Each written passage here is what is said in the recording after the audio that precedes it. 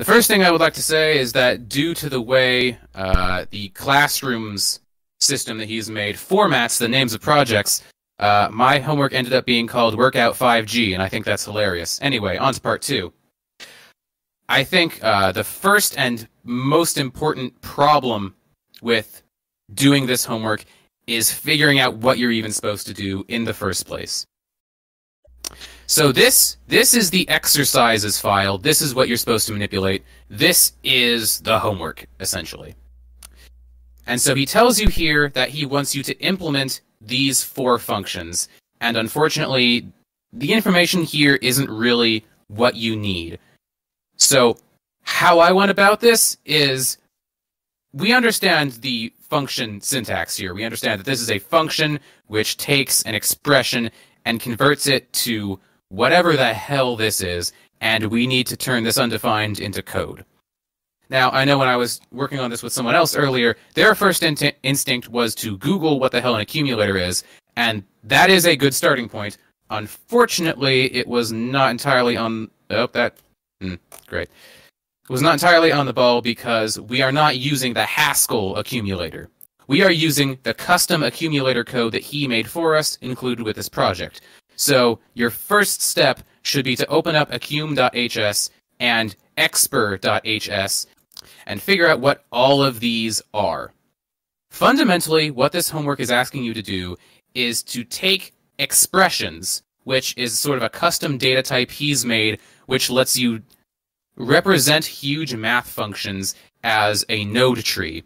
And he wants you to manipulate these in various ways.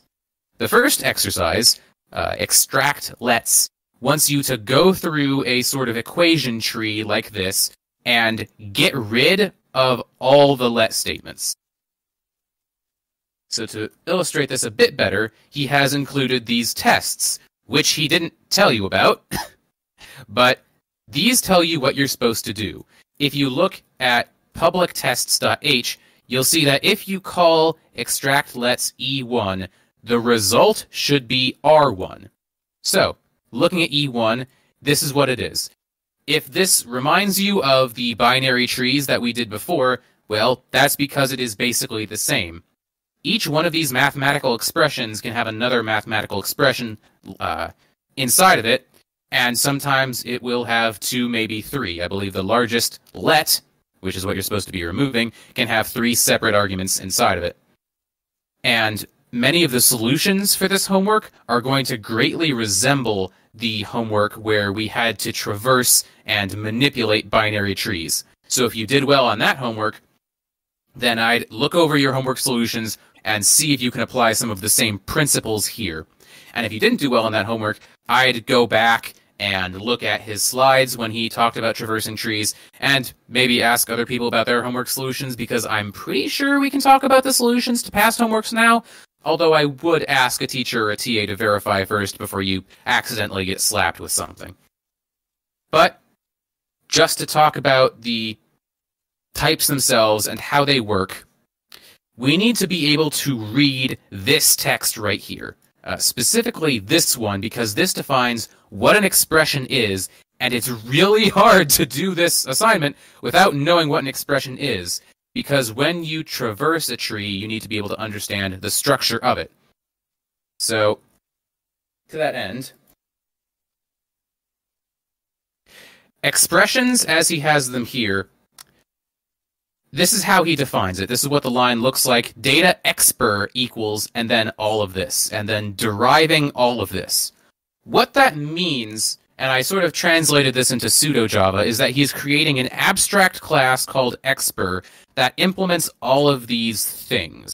Read is a function, and because it derives read, you know that you can call read on expr. Because it derives show, you know you can call show on expr. These are just things that you can call on it. That's all it means.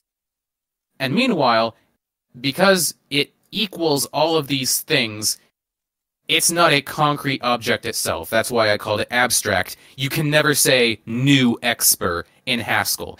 It is just a category that other classes fit into. Each one of these things, separated by this pipe character, each one of these is a type of expression. And so this whole line here can be summed up in this Java code, all of this. And this is honestly one of the things that Haskell really has going for it. It can do in one line what takes Java all of this. So you can see int is a type of data which extends expr, which means it implements all of these uh, interfaces. And its constructor takes a single int. That's what int int means. And I know that's really confusing, but despite having int twice, these two words mean different things. This first int means that's the name of the type. One of the children of expr is called int, and then the second int means that the constructor, very heavy air quotes there, takes a single integer as an argument. So if I were to say call int 5, that would return an int object, which is also an expr, which holds the number 5 inside of it. That one's relatively simple. It's basically a wrapper for an integer, which allows you to put that integer into functions which demand an expression from you. To maybe point out why that would be helpful, this function extract lets expects an expression. So you could not say extract lets 5 because it doesn't know how to call extract lets on the number 5. However, if I say uh, extract lets int 5, well, this calls the constructor function int on the number 5, and this whole thing is now an int type, which just happens to be holding the number 5. And because int is a child of expression, I can now call extract lets on it. This will compile, this will run. It won't do much because there's no tree to traverse, but it will run, it will accept it. This is valid Haskell code. Similarly, add, as defined up here, also extends expression, and it takes two values, which are further expressions. This is how you get the recursive tree structure. So if you look at the expr file, you can see that add, the first argument it takes is int3, which is an expression, and then the second thing it takes is all of this, because all of this is an expression. Because they are recursively defined like this, an expression can be as simple as the number 3 or as complicated as whatever the hell this is. Meanwhile, mult is the same. It takes two expressions as an argument in its constructor, and use takes this thing called var as an argument, as you can see up here. And earlier, var is just defined as a wrapper for a string, the same way int is a wrapper for an integer. And since this only has one thing on its line as opposed to expr, which has a multitude of children, var will only ever be a wrapper for a string. So whenever you see the word var in your code, whether it's in the documentation for expr here, or whether it's in here, because you will need to use vars, at least down here, you know that that basically just means a string that's inside of a container, the same way you might put a string inside of a list or inside of a hash map. Var is just a container that holds one thing. So that's what expressions are. They are a means of recursively defining binary trees where there are multiple types of nodes. That's effectively what we're doing here. Before, we defined nodes that only had one type that held exactly two children. Expr is effectively a type of node that has certain uh, different types representing different things, which allow us to represent math. So to go into more detail about what they want us to do for this, the first problem, extract lets. As described up here, I'm going to summarize his words. It wants you to go through a whole node tree of math, and it wants you to surgically remove all the let statements. If you were listening in class, and I wouldn't blame you if you weren't, when he explained let statements, uh, how they work syntactically is you say let variable equal variable value in a bunch of code where you use that variable. So you can see here, you are adding the number 3 to let x equal 4 in all this code. And then in all this code, you can see use variable x, use variable x, x is referenced. And when it is referenced, it's replaced with 4. So what they want you to do is basically create a structure like this where you have these use statements, but where you don't have any let statements to tell you what the variables are equal to.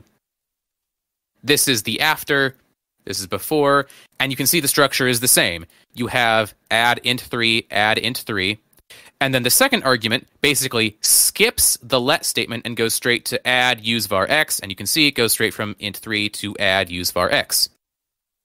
Does uh does that much make sense to everyone? At least what we're supposed to do in terms of the tree? Yes. Okay, I'll take one. Yeah, that makes sense. All right, all right. Two is good enough for me. However, it doesn't just want you to modify the tree. It also wants you to use an accumulator to track all the variable values inside of that tree. So you can see here, let var x equal int 4, and then here it just has var x and int 4.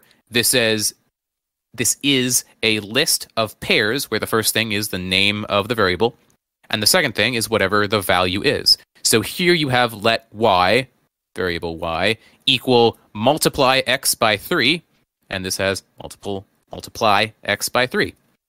So you need to do two things in one function. One, you need to alter the tree to get rid of all the let statements. And two, you need to track all the variable values in this thing called an accumulator. So, next, we need to move from the expression file to the accumulator file and see what the hell this is. Now, while expression was basically just defined as a bunch of structures that hold other variables, accumulator is a bit more complex. First off, it's declared like this, which we'll break that down. Second off, there's a bunch of instance functions here, and these are basically manually implementing these functions. You know how expression derives these? That's because they are easy to implement. They can effectively be implemented automatically. If you think about it, this tree will always end up with either an int or a use var. And remember, in the expression file, var is just a string. So at the base of this tree will always just be ints and strings, which Haskell already knows how to read, how to show, and how to check if they're equal to each other. That's why you can automatically derive these types. However, accumulators are a bit more messy. An accumulator is defined as a type which takes two other types and stores them inside. And because they can be any type, then you need to manually define these functions instead of just saying, eh, derive it for me. What this line here means is it's a bit like a generic class in Java or C++ if you all are, all are familiar with those. It is a type which has other types of things inside of it, and that's not necessarily set in stone. It's very similar to how a list works. A list holds a type of things inside of it, but you can decide as the coder what that type is. You can have a list of strings, a list of ints, a list of Honda Chevys, I don't know. And you don't have to declare a separate list type for each type you want to hold. It is generic. It is just a list and it handles all types equally. So what accumulator would basically look like in another language is accumulator where you define the two types right out front. And the first type there is an array of that type inside of the accumulator. The second type, there is just one of that thing. Let me make this a bit smaller again. And so just for example, up here, if I make an accumulator with an array of ints and a single string, then that is an accumulator of type int string. Meanwhile, if I have an accumulator of a bunch of different strings and a single integer, that is an accumulator of string and int. So just like how a list is a data object which holds a bunch of things of another type. An accumulator is basically just a list that also holds another thing. That's really all it is. This is the list right here, and then it holds one more thing on the side that can be of another type. So you can have a list of strings and then an int on the side. Now, getting back to the actual homework assignment, I'll cover all this in a moment because it is important, but let's ground ourselves and remind ourselves what the objective is. We want to make a function called extract lets that takes an expression and returns an accumulator. Now, this accumulator has two types. It's a bit hard to understand because you technically have three types here, but the first type is a pair of variables and expressions. So just like we saw in the example input and output, the accumulator, the list should hold a bunch of pairs, and those pairs specifically have to be of the type variable, then expression. Pair, variable, then expression. And the second type, the thing that it only holds one of, should also be an expression. And again, this is explained in the text, but this uh, set of pairs should be the contents of all the let statements, all the values that the variables are assigned to, and this expression should be the rest of the tree without any of the let statements in it. So the second thing is the cleaned or pruned tree, and the first thing is a list of variables. And now we get into the how of this, and that is very difficult for me to explain without giving you the answers, which I'd rather not do, uh, partially due to academic integrity, that's definitely the main reason, and also partially because I want to release this publicly and I can't give the answers out publicly.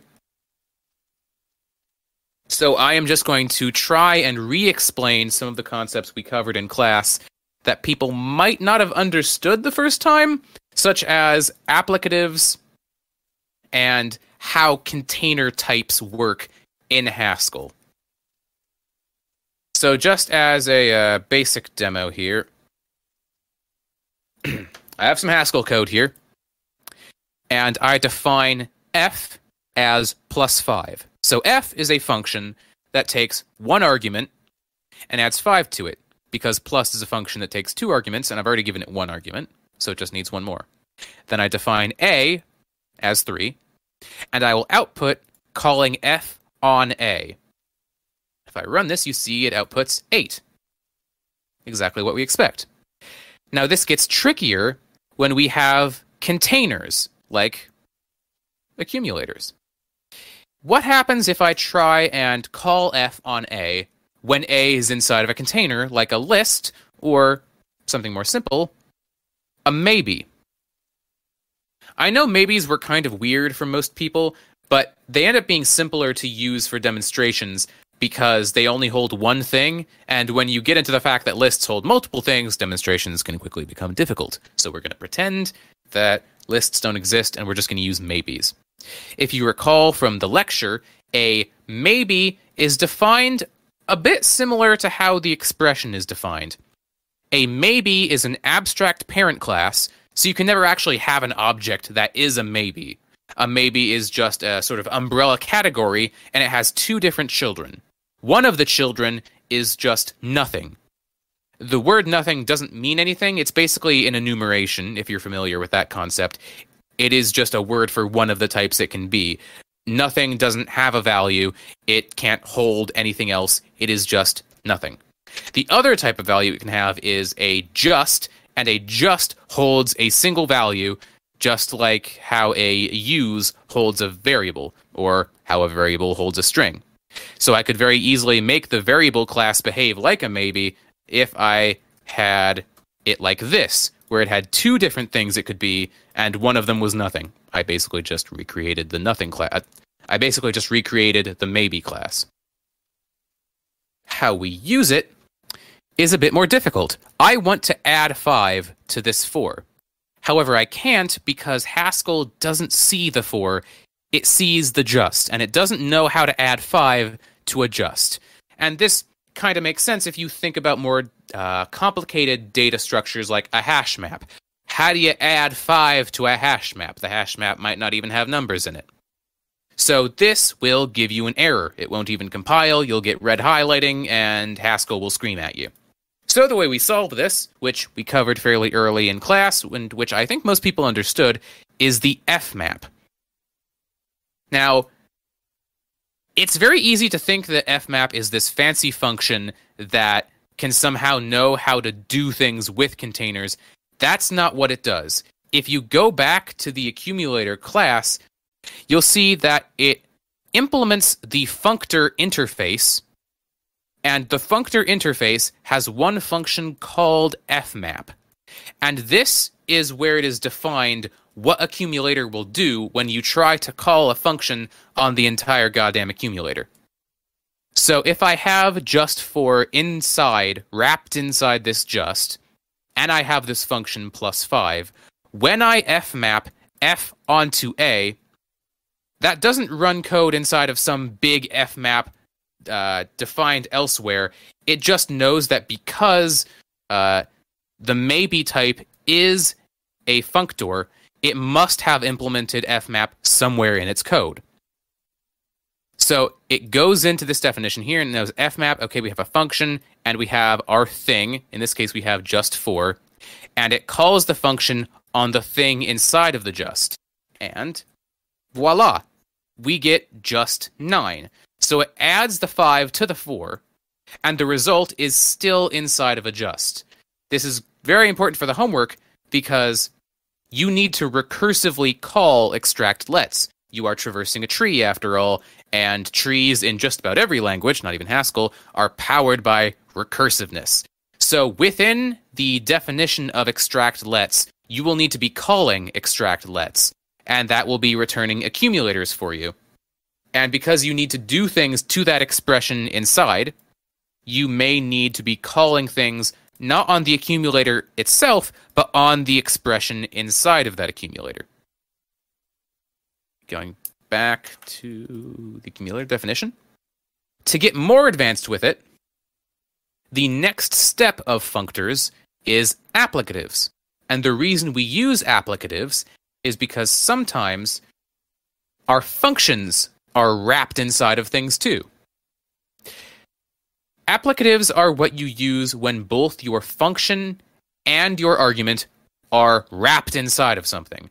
So maybe you have a list of single argument functions and a list of numbers to feed them to. You could have a list that has plus one and minus one inside of it, and a list that has five, four, three, two, one inside of it. And if you apply that list of functions to a list of arguments, it will call each of those functions on each of the arguments. But you can't just, hold on, you can't just call a function on an argument because they happen to be wrapped inside the same type. That wouldn't always work.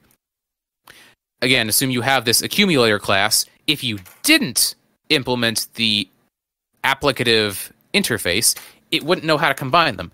After all, it has a list inside of it, and it also has this other thing. How does it know what you want to do when you try to combine a function inside of an accumulator and a value inside of an accumulator? If you just combine them, it will give you an error. So what we do is we implement applicative. And inside of this, we tell it how to do two things. Applicative is effectively a Java interface which has two functions that your class needs to implement. The first is purex, which is basically a way of wrapping something inside of your class.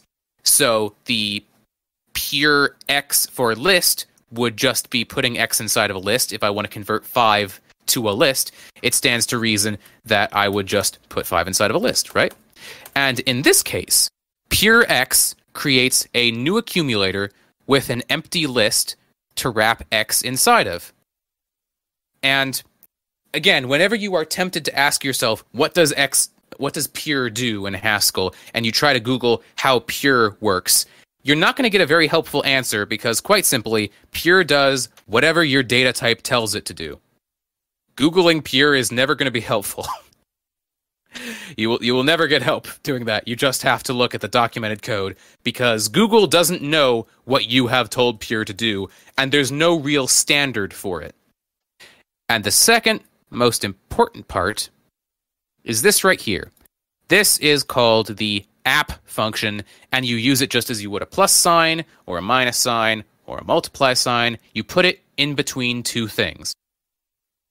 And what you put it in between specifically is a function wrapped inside of your container class, like a function inside of a list or a function inside of an accumulator, and an argument also wrapped inside of the same type of container, whether it be a maybe, a list, or an accumulator. And then what it does, the way it calls that function is again entirely defined by how you, the programmer, define it. In this case, the accumulator class he has given us will combine the contents of these lists because the first type will always end up being a list. I'll bring this up. This will always be a list of whatever type you call it. And so it will combine those and it will call the function. Sorry, I'm using the monad. I'll just get rid of that for now. And it will call the function in the first container on the argument in the second container. And these restrictions are very important to remember because whenever you want to use this symbol, you need to make sure that there is some kind of function on this side and some kind of argument on this side. That is going to be key for this homework. So the way you can combine plus 5 inside of adjust and 4 inside of adjust is just by using this symbol. And that is unfortunately the end of what I prepared. But if you run this, you can see it is just 9, again, still wrapped inside of the same wrapper we were using for our data types before. And the next part of this is where I am unfortunately going to kind of have to admit defeat because I don't know how I can help you much further without giving you answers. Those ideas I just explained, how you use applicatives, what they're for in the first place, why you would want to use them, that is, uh, to put it plainly, important. The one other thing I can think of explaining is that these functions, as defined here, these aren't just type declarations. These aren't just headers. I wasn't really representing them properly when I made them look like class headers. They are also functions. When I said that this line of code is doing all of this, I wasn't exaggerating. This is both the type declaration telling you that add is a thing which extends expr, it is also telling you what the constructor function is. Add expr expr is a function.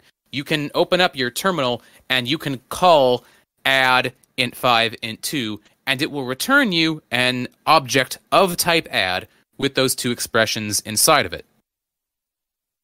And like any other function, you can wrap that inside of uh, containers like justs, like list, or like accumulators, which you might need to use for this homework, and then you can call applicatives on it.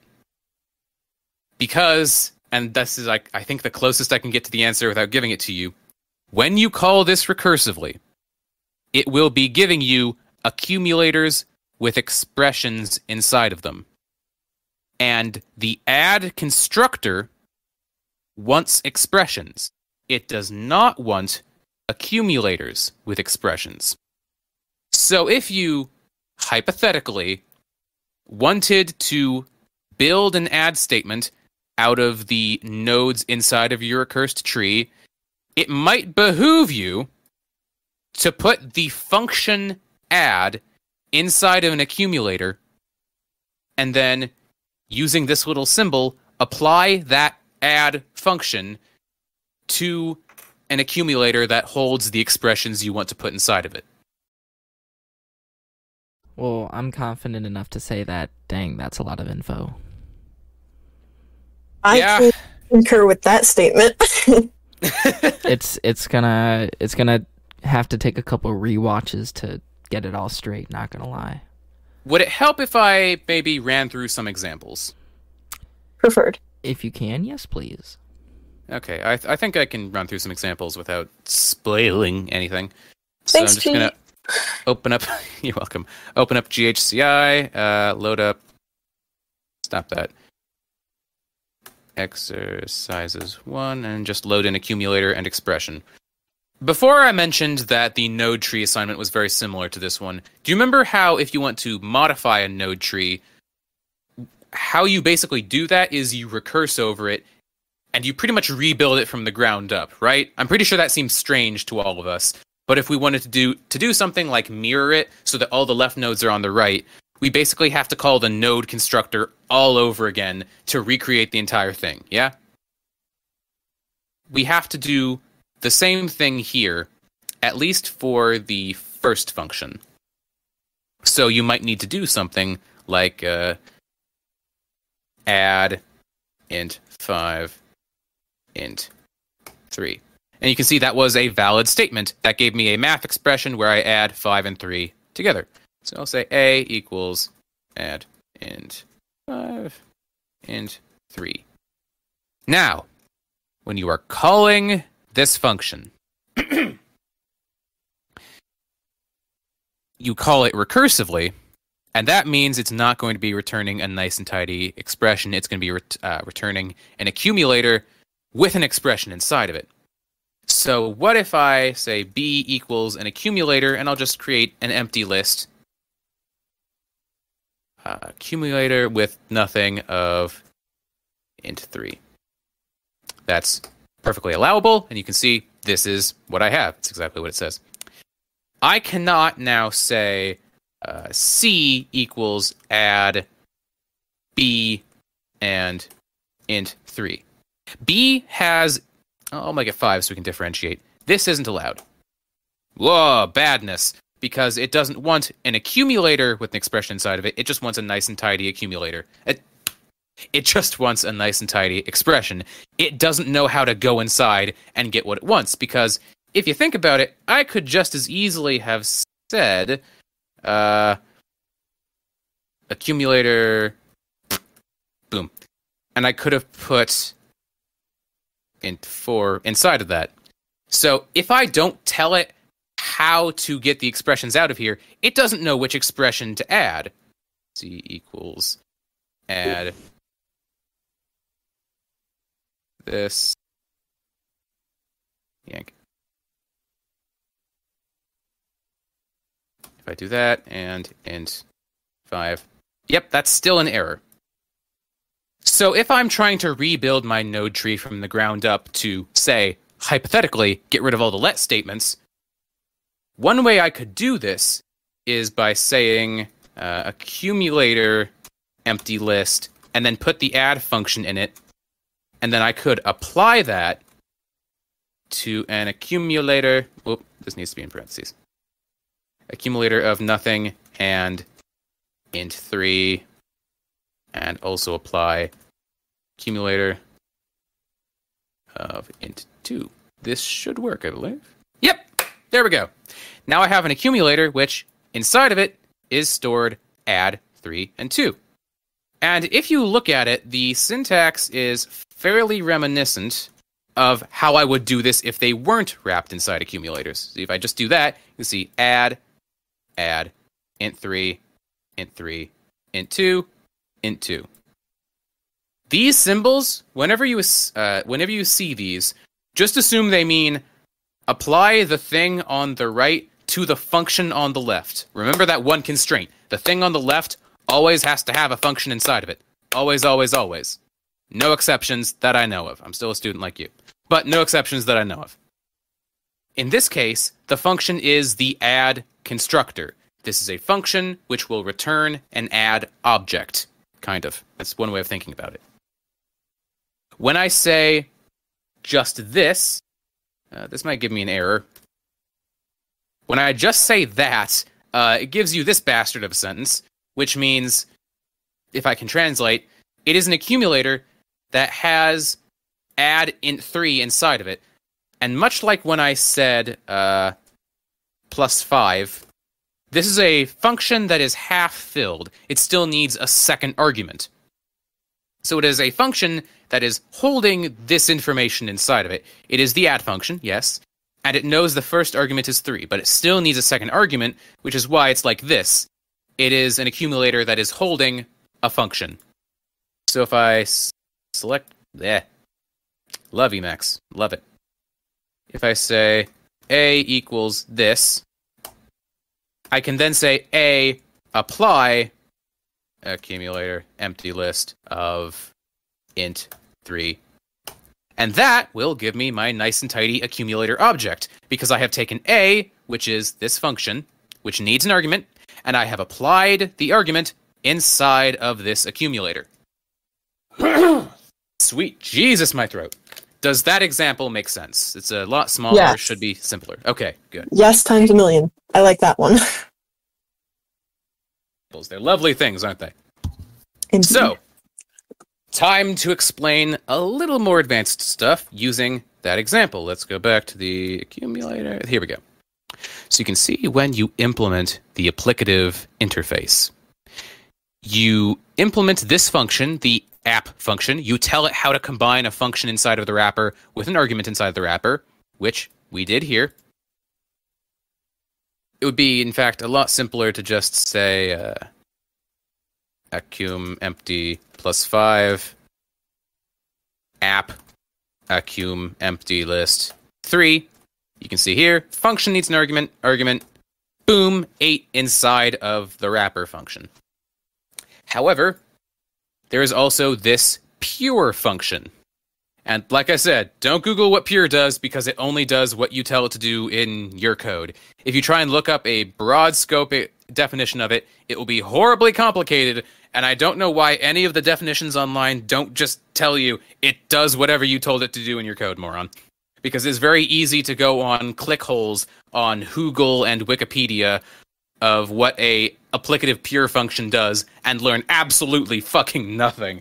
But all it does here is if you call pure on a value, it will create an accumulator with an empty list and that value. And oh shit, that's what I was doing manually this whole time. So I could very easily do what I was telling you to do before by saying uh, pure add app pure and 3 app and then I'm pretty sure I need to put an accumulator at some point in here so it knows what type pure is supposed to be. Because every single class that implements applicative has a pure function. If I don't give it a type, like an accumulator, it says, okay, I know you want me to call pure, but what type am I calling it on? So I can say accumulator empty list of 4, and I might need to put this in parentheses. Let's see if this compiles. And it does.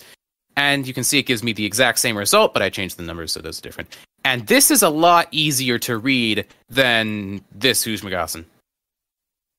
So that's what the pure is for. It just saves you from having to create a bunch of empty parameters for your wrapper class. It's sort of like a default. When you want to put something inside of your class, instead of having to call the constructor, because remember the name of the thing is a constructor, so I'm just calling the constructor here. I'm providing the first argument, which is an empty list, and I'm providing it the second argument, which is the add function. Pure provides an alternative. It's basically a default value for the constructor, so you can call the constructor on just one argument, and it will automatically do the rest. If I were to call uh, pure plus eh, pure plus five and then app it with a just three, it knows to automatically convert this plus five into a just plus five. Boom. Because Pure is hyper overloaded with just about every applicative container class in Haskell, and it automatically knows how to do it, you don't have to worry, oh, how do I wrap a function in a just again? Do I have to do anything weird? Nah, just call Pure, assume it's implemented properly. At some point in the future, he will probably force us to make our own pure functions. And when he does, just remember the point of the pure function is to basically be a default constructor that takes a single value and does all of the other constructor stuff automatically. That's all that applicative is. Applicative is an interface class. Uh, sorry, it's an interface and if you implement it, then your container class, like list or maybe or accumulator, can call wrapped argument can call wrapped functions on equally wrapped arguments. You can call lists of functions on lists of argu- arguments. You can call just functions on just arguments. And the pure is just a convenience thing to make a to wrap a value in that function. You can call pure x with lists to wrap X in a list. You can call pure X on maybes to wrap X and adjust. And you can call pure in an accumulator here to wrap X in accumulator with nothing inside of it.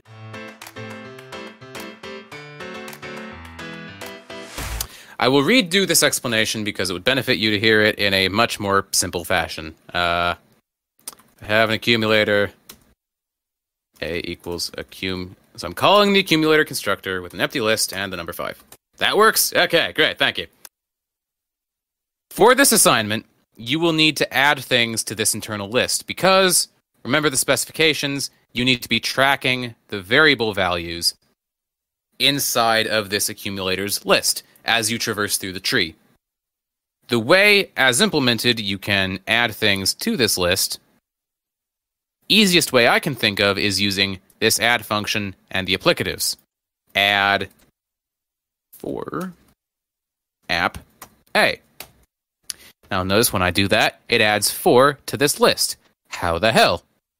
Well, add is a function defined in here. A function that has a name which is criminally vague, if I may say so. But what that function does is it accepts anything and it returns an accumulator where the first type is the same type as that thing. So I called it on, I said add 4. So the type of this list is now forever a list of ints. And the second type is of y goes to y. Well, what does that mean?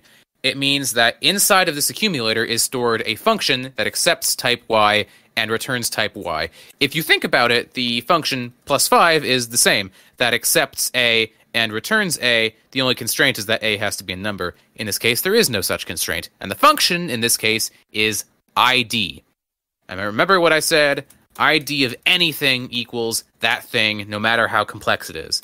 So if I say id a, it returns what a was declared as. If I say id 5, it returns that thing. So by putting id inside of any kind of wrapper class, like list or like maybe or like accumulator, you can use applicatives to do the kind of side effects that happen when you apply things, such as concatenating lists, without actually doing anything to the arguments in your main accumulator. So if you were, I don't know, hypothetically rebuilding an entire binary tree and you wanted to record certain nodes, then when you call your recursive function on that tree, you can call add on the accumulator that you get returned to add certain values to the accumulator as it sort of climbs up the recursive uh, tree structure. And one one last piece of advice I can give that isn't immediately apparent is that because of how expr is defined, you can take advantage of Haskell uh, type matching. Type matching is one of the genuinely magical things of Haskell that you can't really get in other languages. When you call this function on an expression, whereas in other languages where you have inheritance, like I laid out in the uh, no, stop that. Where you have inheritance similar to how I laid it out in my terrible Java explanation. Haskell can automatically just check what type you pass when you call the function. So you can basically just declare entirely different functions depending on what you pass it and just say that it has to take an expression one way or another. So I can say expre- uh, extract let's uh, int x equals undefined and then extract let's uh, add x y equals undefined etc etc and just adding these other words to see how many uh, arguments that should have inside of it and i believe you need to wrap these in parentheses otherwise it'll give you errors there we go but you can use this as an easy way of handling the different types of nodes. You don't have to use if statements to say, okay, uh, when I call it on a node, if it's an int, do this. If it's an add, do this. You don't have to put in express if statements. This pattern matching will automatically do that for you. So you can just have completely different cases for each type of node in this math binary tree we have for ourselves. Does that make sense? I believe so. Okay. I know when you just have expression in the argument field here, it can be difficult to understand what you're really getting, but it is important to understand that you can break down the thing that you're getting past because you know expression has to be one of these types. You can just make a case for every type, and then you know you have all your bases covered. you don't have to worry about a situation where you can't break it down into one of these. Gotcha. Okay, that makes more sense. Yes. All right. Uh, I think that's all I have, at least in terms of stuff that's pertinent to this homework. Once I have it cleaned up, I will uh, re-upload it.